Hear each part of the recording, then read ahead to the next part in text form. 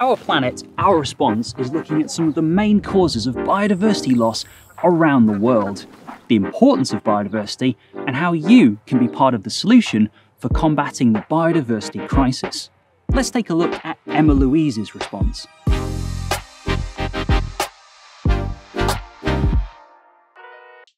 My name's Emma Louise. We're making this episode on pollution because we want to find out what we can be doing to protect our planet for us and for future generations. Let's find out together. Pollution is the introduction of harmful materials into the environment. There are lots of different types of pollution, but the three major types are air pollution, water pollution, and land pollution. In urban settings, it's crucial to address the major challenge of air pollution, which is largely a result of human activities like burning fossil fuels and vehicle traffic. Although air quality has improved significantly in recent decades, many parts of the world still have unacceptable levels of air pollution. Air pollution contributes to climate change. It affects health, contributing to conditions like heart disease and asthma. And recently, it's also been found to affect children's ability to learn. As well as this, air pollution can also cause major damage to our ecosystems. Even the most basic ecosystem functions, like plant growth, can be affected. Let's move on to a more specific example. It involves both air pollution and a process called eutrophication. Eutrophication is when nutrients accumulate in bodies of water. This causes harmful algal blooms, dead zones, and dying fish.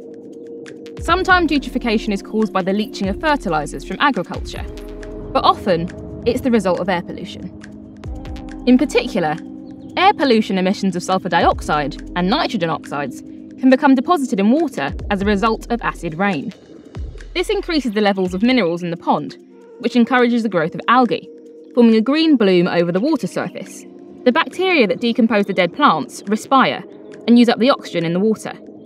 The low oxygen levels make it difficult for aquatic insects and fish to live, and eventually, the lake may be left completely lifeless. With eutrophication, it can also cause major changes in aquatic community structure. It can lead to more fast growing algae species, including toxic species. It can also result in macroinvertebrates, shifting from sensitive species to more tolerant, sometimes non native species. These dramatic changes at lower trophic levels may also lead to trophic cascading, going on to impact the composition and numbers of wider species. So, overall, why is pollution important? And why should we care? We need to address eutrophication within ponds from a wider climate change perspective. Due to the sheer number of ponds globally, they have the ability to really influence air pollution levels. Firstly, healthy pond environments can actually act as an important carbon sink, absorbing and storing carbon dioxide. However, as a result of eutrophication, the excess algae and plant matter eventually decompose, producing and releasing large amounts of carbon dioxide into the surrounding atmosphere. These green waters are also an important contributor to methane emissions. That's a greenhouse gas that is up to 34 times more potent than carbon dioxide. In fact, the eutrophication of larger water bodies, such as lakes, could increase the emission of methane into the atmosphere by anywhere from 30 to 90% during the next 100 years, this is equivalent to 18 to 33% of annual carbon dioxide emissions from burning fossil fuels. So, this creates a cycle. Eutrophication adds to air pollution, which is a large contributor to wider climate change. And that increased air pollution and climate change then increase the effects of eutrophication even further over time.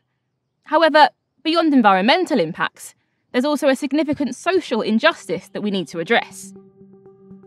Clean air is a basic need in a healthy environment for us all to live in, work in, and bring up our families. But clean air is not currently accessible to all. Pollution levels today are having a devastating impact on society. A US based study found that ethnic minority communities are 66% more likely to live in an area with poor air quality than white people. A UK based study also found similar results for London here in the UK. As a result, there are an estimated 40 million people living in areas with illegal levels of air pollution in the UK. People on lower incomes are likely to be affected by air pollution because they get priced into housing that has poorer outdoor and indoor environments. People on lower incomes in the UK are disproportionately women, and they're also disproportionately Black, Pakistani, and Bangladeshi households. Most of those groups um, are actually least likely to have generated that air pollution itself. That kind of real element of inequality is really worth highlighting. In fact, last December, Ella Kissi-Debrah, a nine year old girl from southeast London, was the first person in the UK to have air pollution listed as the cause of death on their death certificate. I think we will take a moment. What the coroner has also recommended is very important, and he has made it incredibly clear that unless his recommendations are implemented, people will continue to die. This problem demands action. Everyone should have clean air to breathe as a fundamental human right. Now, with all this in mind, what can we, as individuals, do to tackle the interconnected environmental and social threat of air pollution? First, let's take a look at something that we use daily our cars. Clearly, there's too much traffic on our roads. We could all be travelling more sustainably, like walking or cycling. Alternatively, let's take a look at the future of electric vehicles. I feel like when people say EVs, many people think, oh, Tesla, unaffordable. Um, there are no different models. There are hundreds of options. So one of our goals is definitely to make it more affordable. And I guess what also feeds into affordability is um, again, the market becoming more competitive. Uh, battery prices have been dropping and are at the, the lowest they have been before. But uh, it is schemes like salary sacrifice that will open up the opportunity to young adults um, as long as your, your company or the company that you're aiming to work for signs up to the scheme. I, I truly believe that the, the future is electric and that we are taking the right steps both in terms of technology um, as well as in terms of policy to reach that. However, it's not just the responsibility of us as individuals. We need to address this at an industry wide level and hold the major polluters accountable. Their impact is huge you know, businesses of all kinds contribute to air pollution. There's a lot more work to be done in terms of putting air pollution on the business agenda. So we set up initiatives like the Business for Clean Air um, group in 2019, which is a free initiative essentially open to companies to make it clearer for them what contributions they're making to air pollution and the steps they can take to, to improve that situation. So we ran a kind of campaign, for example, called the School Run Scandal, and that was really highlighting the role that car companies haven't played um, in terms of stepping up enough to address the air pollution produced by their cars. So we ran a campaign with school children writing to those companies to talk about the role they need to be playing to step up. There's a lot more that can be done and would really kind of encourage your members when we, we are running campaigns to get involved and to, to use their voices to, to, to call for action. Just remember, whatever action you might take, no matter how little it might seem, it's important to take it, be proud of taking it, and share what you've done. Ultimately, the air pollution crisis is solvable. Here's our response. What's yours?